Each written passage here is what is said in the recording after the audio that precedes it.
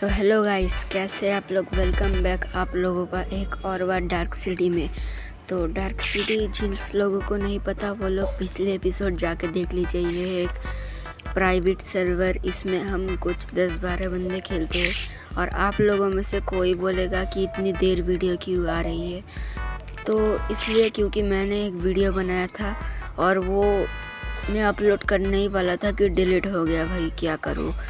तो मैंने पिछली बार डायमंड माइन कर, किया था और ये घर बनाया था। आप लोग देख ही सकते हैं, ये वाला घर, ये मेरा घर है, बहुत ब्यूटीफुल घर है। मैं आपको यहाँ से दिखाता हूँ, भाई क्या लग रहा है।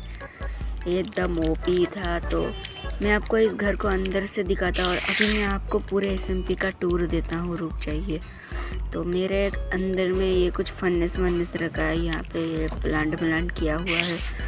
तो यहाँ तो बस ये एक डोर है, यहाँ से भी बाहर के लिए ही रास्ता जाता है, बाकी कुछ नहीं।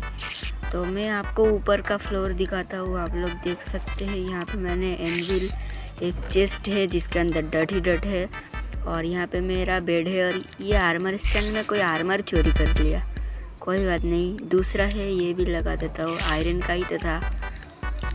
कितना ज़्यादा अमीर आर्मर तो नहीं था। तो मैं इसको लगा देता हूँ। जल्दी से लगा देते हैं।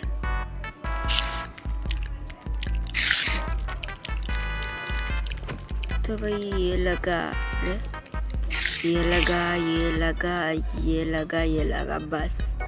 अब हो गया अच्छा तो ये है मेरा बेडरूम यहाँ पे मैं सोता हूँ और ये अंदर कुछ माल पानी रखा है मैंने।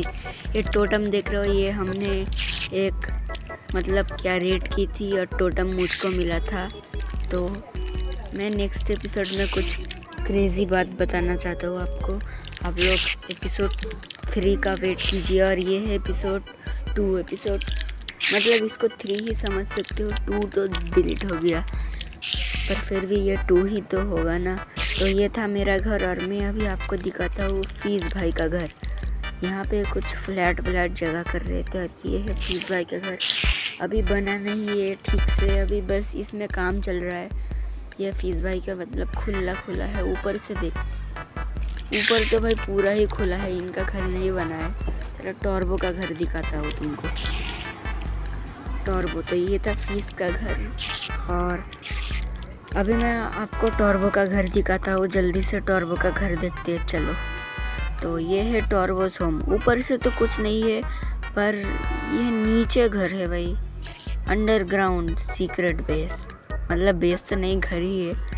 पर इनका घर अच्छा था और ये सामने देख रहे हो, ये कम्युनिटी हॉल ये मैंने पिछले एपिसोड बनाई थी। आप लोगों ने देखा नहीं होगा तो जाकर देख लो एपिसोड वन डार्क सिटी और ये फार्म भी मैंने बनाया था। कुछ एक बंदे का हेल्प लेकर बनाया था, माहिर का, वो नूबड़ा।